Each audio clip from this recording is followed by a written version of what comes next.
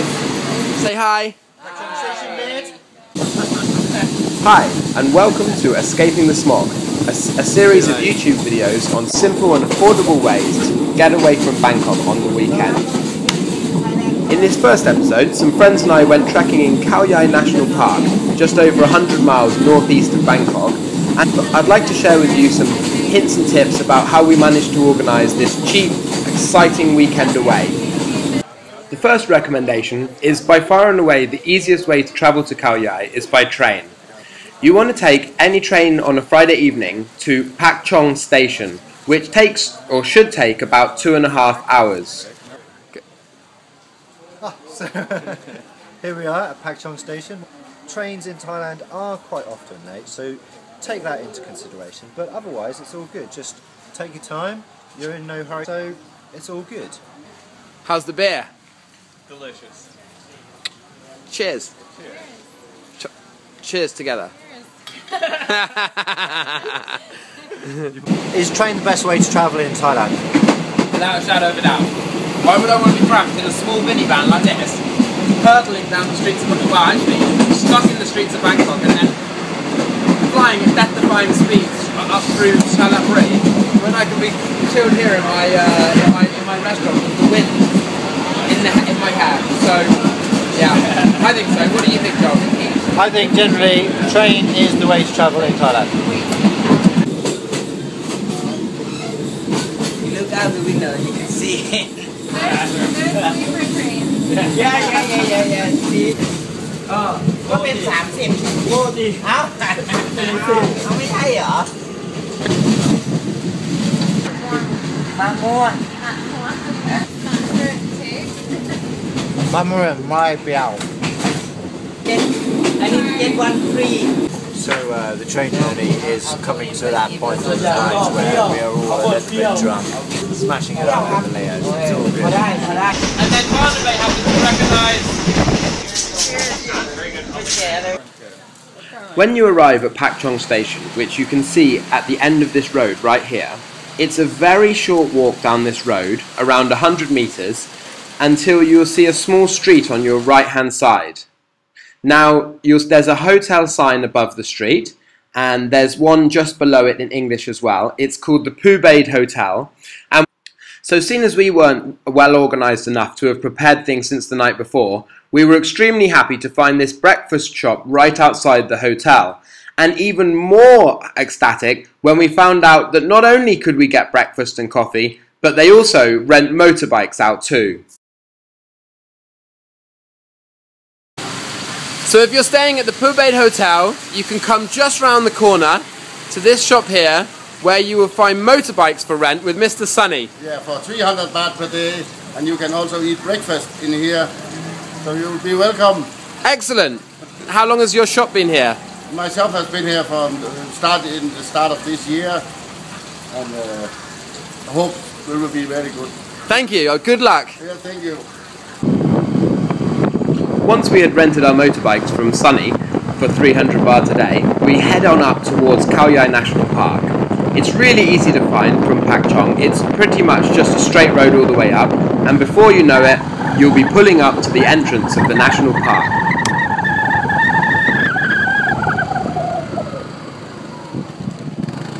As you can see from the sign here, the national parks charge 200 baht per person for foreigners, as opposed to only 40 baht for Thai people.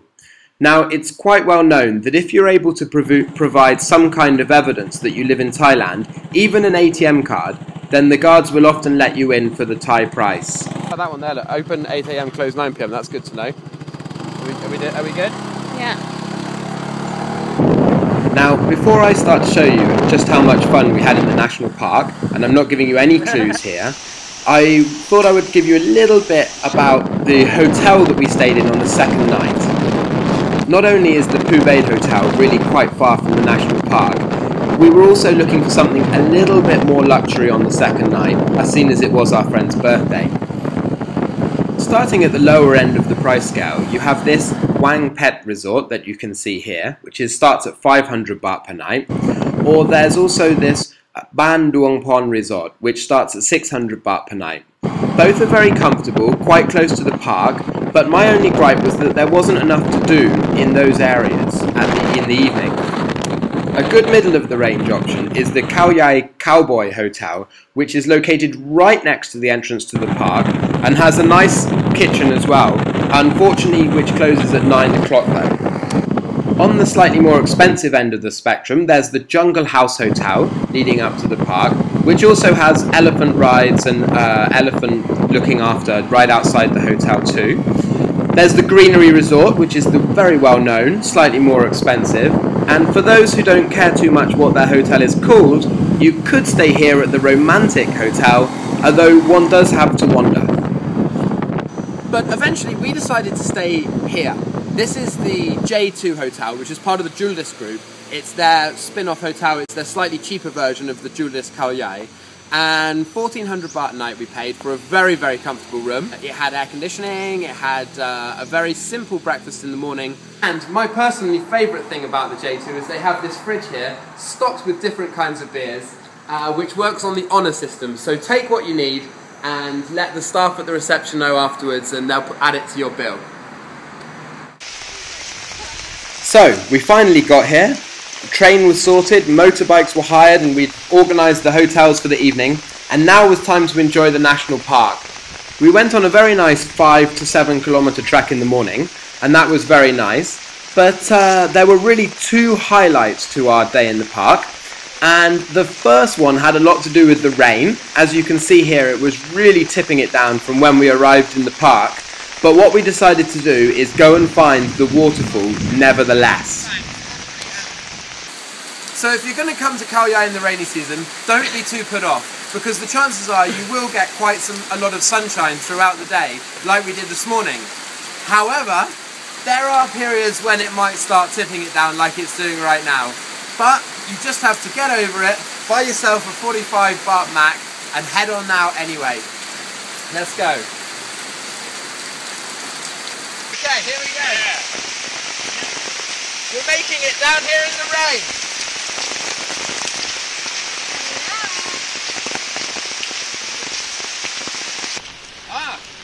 Yeah, we're almost at the waterfall here.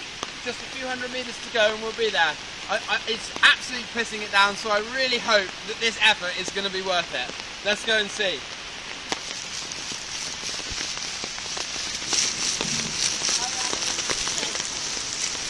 Hi. Yeah, well, Yeah. I think you can decide for yourself, was it worth it?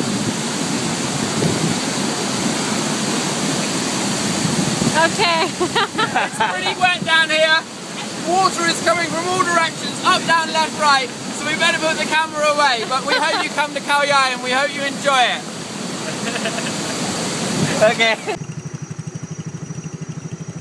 And finally, we leave you with the really coolest thing we saw in Khao Yai National Park the whole weekend. As we were driving along the road, we came across this traffic jam in the middle of the jungle caused by this enormous wild elephant you can see here up ahead. It took us a few minutes to get past this beast, and as you can see, it's not no longer raining. But eventually, we got past, and we got some really close-up shots of this wonderful animal.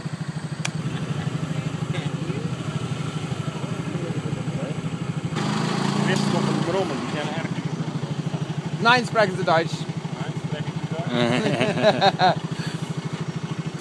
It's an elephant.